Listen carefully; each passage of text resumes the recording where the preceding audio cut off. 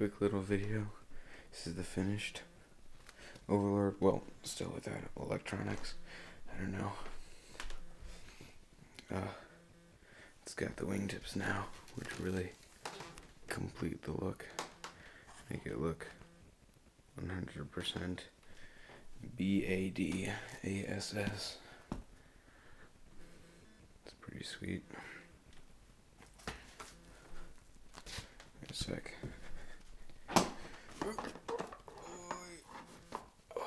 Stay up. Here we go.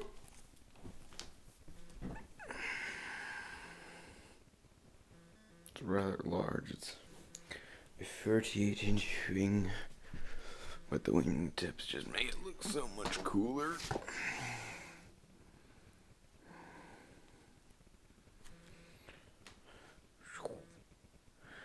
Alright. Alternating colors. See ya.